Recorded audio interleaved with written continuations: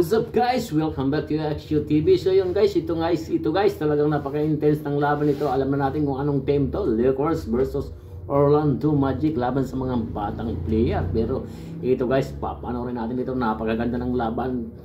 Yan, bawing-bawi talaga guys. Kahit sino dito bawing-bawi sa laban na to talaga. Talagang talaga hindi natin sasabihin ko sino manalo.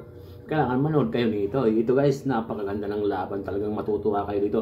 Huwag na natin patagalin yan. Pero bago yan guys, wag, wag nyo naman kalimutan i-subscribe itong channel ko, Action TV. So yun guys, maraming maraming salamat guys. Tara guys, at wag natin patagalin, panoorin na natin to kung ano ang nangyari sa laban ng Lakers at Orlando Magic. Let's go guys! Pawaw sa mga fans, Dilo, ginulat si Paolo Banquero, may pasakting full naman itong Magic. Lakers versus Magic, undefeated Orlando susubukan ng Los Angeles sa kanilang home court. Let's see kung ano mangyari. First quarter natin, literal na back and forth ang ginawa ng dalawang koponan at tied ang score natin to 8 points after ng 4 minutes na paglalaro sa quarter na ito.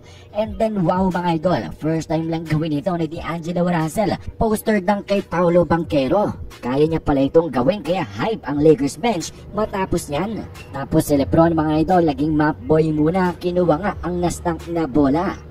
Matapos niya ng Lakers offense, nagtuloy-tuloy lang mga idol at ang Orlando naman ay medyo nag-slow down na. Yan naman napa-timeout sila matapos na ang Lakers umangat 23 to 18 with 2 minutes left. At tinapos nga ng Lakers ang first quarter na may hawak na 5-point lead 29 to 24. Second quarter naman natin, Lakers offense continues to flow at itong si Lebron at Gabe Vincent inangat ng Lakers to 11 points, 35 to 24 matapos ng mga baskets nila. At itong si Cole Anthony Shakti na full moment, easy dunk na, naging bato pa. At grabe mga idol itong pasa ni Lebron unreal pass to Seawood for a layup nagpawaw nga sa mga fans. Nalito nga rin itong si Jonathan Isaac. Pero kahit pa paano naman, ang Magic players ay bumawi nga dito sa Lakers ng kanilang opensa para ibaba to 5 points. Ang kanilang hinahabol, naging 40 to 35 na lang tayo. At bigla na nga lang din lumamang dito ang Magic 45 to 44 dahil nga sa mainit na mga kamay ni Gary Harris. Umabot na siya sa 14 points in the quarter. At kanilang ang tinapos ang quarter na ito mga idol na hawak-hawak pa rin ang momentum kahit sububok ang Lakers na lumamang 58 to 54 after 2 quarters. At dito naman sa ating third quarter, itong Orlando continues to control the game nang dahil sa kanilang magandang opensa samahan pa ng magandang depensa dito sa Lakers. Pero kahit papano naman, hindi lumalayo itong Los Angeles. Talagang nakadikit nga lang sila at ang score natin 68 to 66 with 7 minutes left. Pero matapos nga niyang timeout, itong Magic kumuha na ng 8-point lead dito sa Lakers. Kanilang tinake advantage ang cold shooting netong LA this quarter. 80 to 72 ang score.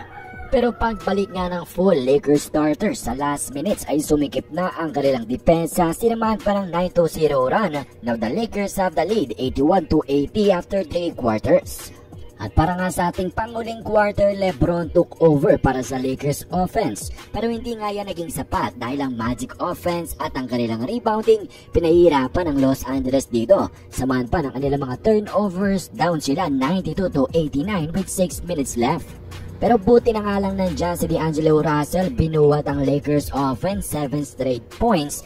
Pero ang problema nila ay ang depensa Easy points ang binigay nila kay Fultz, 100-96 ang score with 3 minutes left. And then bigla na nga lang pinalamang ni AD, Lebron at Dilo Lakers dito after ng 3 straight clutch baskets nila 104-103. At yan ang nagpanalo sa Lakers mga idol. Nakasurvive nga sila sa Orlando Magic. So yun nga ang nangyari guys.